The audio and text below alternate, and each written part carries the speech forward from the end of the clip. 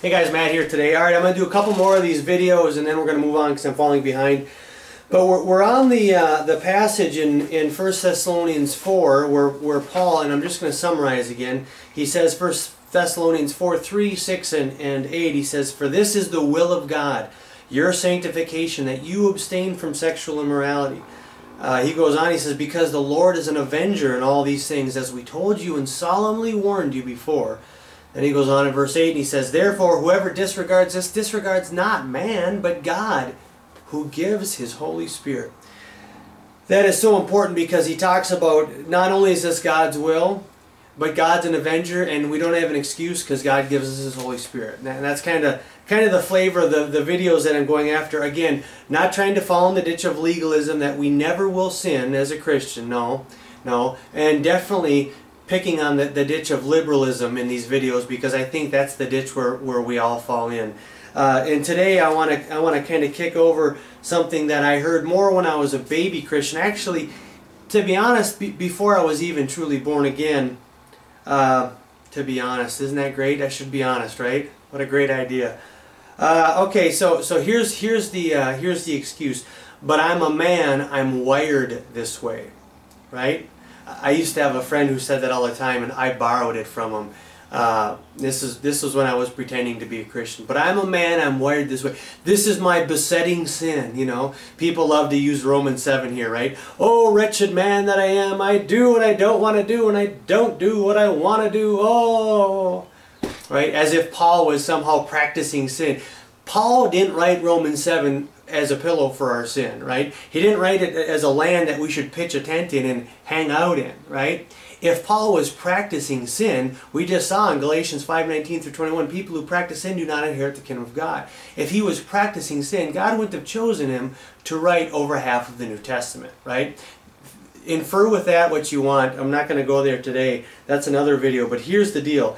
God doesn't wire us to sin against him. Now, some of you hear this and it's like, well, duh. But I've heard this quite a, quite a bit. You know, I'm wired this way. I can't control myself. I can't help myself. Again, 2 Corinthians 5.17. My son just learned this verse. It's a great verse to memorize.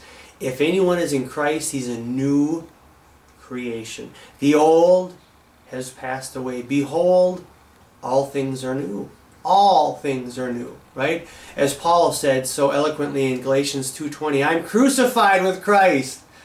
Uh, I'm dead, man. It's no longer I who live, but Christ who lives in me. In this life, this life here that I'm living now, oh, I'm living by faith in the Son of God who loved me and gave his life for me. So Paul knew he was dead. It was no longer him living. He knew that if anyone is born again, if anyone claims Christ, if anyone's truly in Christ, they're a new creation. The old has passed away. A new creation isn't wired. God doesn't wire us to sin against him. He's not some cosmic sadist, right? He doesn't throw us in a candy store and as a, as a kid, uh, look at this way. My son loves chocolate, right? I wouldn't take my son, make him not eat for a couple of hours, have him be really hungry, and then throw him in a chocolate store and lock the door knowing he loves chocolate and say, good luck with that, you know. Good luck with that, son. God doesn't do that either. He doesn't throw us in a, in a situation we have no way of getting out and say, good luck with that, God out. Good luck with that. No, no, no. God is good. He is faithful. In fact, I want to read uh, a verse here. I'll read the whole passage, but here's the verse. It's 1 Corinthians 10, 13, because some guys think they're special, like they're, they're alpha male, they're super machismo, they can't control themselves. And God says, hey, not only are you new creation, but in 1 Corinthians 10, 13, he says, if anyone's in Christ, or no, he says, uh, what does he say? Oh yeah, no temptation, that's the one. No temptation has seized you except that which is common to man. It's common. It's common. We can't use it as some outlandish, extraordinary excuse. I can't. No, no, no, no, no. No. No temptation has seized you except that which is common to man. It's common to all men and women to suffer from temptation from sexual sin. But they don't have to give in to it. Why? Because God is faithful. He is just. He will not let you be tempted beyond what you can bear. And when you are tempted, He'll provide you with a way out. He won't throw you into a situation and lock the door and say, good luck with that. No, no, no. God is good. He doesn't wire us to sin against Him. He wires us to obey Him. Be holy as I am holy. How can we do that?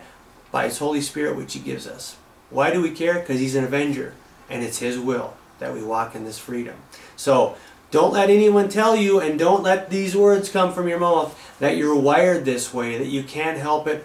Oh, wretched man that I am, just like Paul and Roman, the guys in the prison love to use that, and I, I am really quick to point out, no, that's not a pillow to sin. That's not why Paul wrote that. All right, that's where we'll stop today. We'll do another one tomorrow. See ya.